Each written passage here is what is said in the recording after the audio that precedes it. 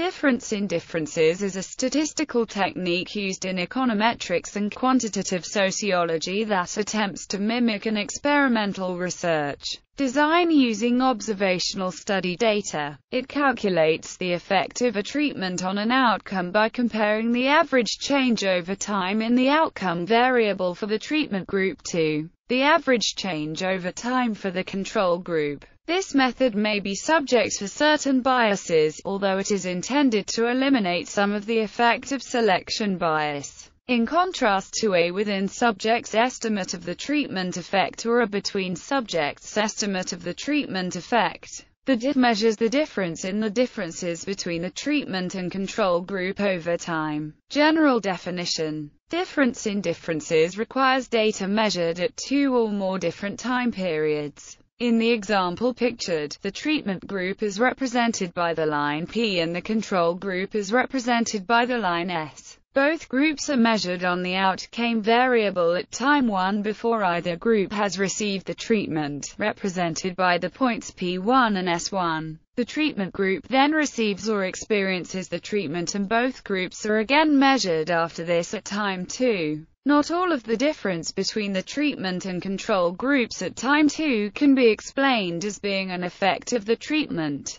because the treatment group and control group did not start out at the same point at time 1 did therefore calculates the normal difference in the outcome variable between the two groups, represented by the dotted line Q. The treatment effect is the difference between the observed outcome and the normal outcome. Formal definition Consider the model where is the dependent variable for individual, given an, the dimensions and may for example be country and time, and is then the vertical intercept for and respectively is a dummy variable indicating treatment status, is the treatment effect, and is an error term. Let, and suppose for simplicity that an, then, the strict exogeneity assumption then implies that without loss of generality, assume that am giving the did estimator, which can be interpreted as the treatment effect of the treatment indicated by assumptions. All the assumptions of the OLS model apply equally to did. In addition, did requires a parallel trend assumption. The parallel trend assumption says that are the same in both and.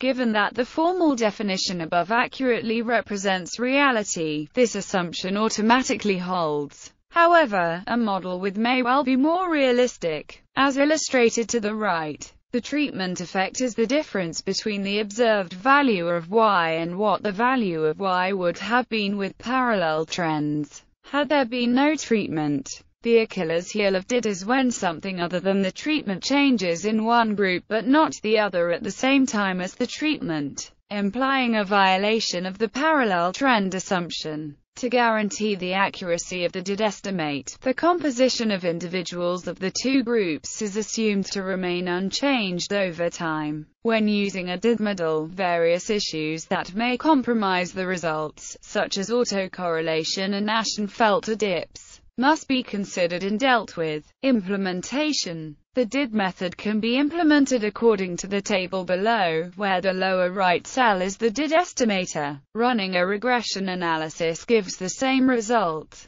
Consider the OLS model where is a dummy variable for, and is a dummy variable for. The composite variable is then a dummy variable indicating when. Although it is not shown rigorously here, it turns out that the estimates in this model are, which is equivalent to but this is the expression for the treatment effect that was given in the formal definition and in the above table. Card-and-Krueger example. Consider one of the most famous DID studies, the Card and Krueger article on minimum wage in New Jersey, published in 1994. Card and Krueger compared employment in the fast food sector in New Jersey and in Pennsylvania, in February 1992 and in November 1992. After New Jersey's minimum wage rose from $4.25 to $5.05 in April 1992, observing a change in employment in New Jersey only, before and after the treatment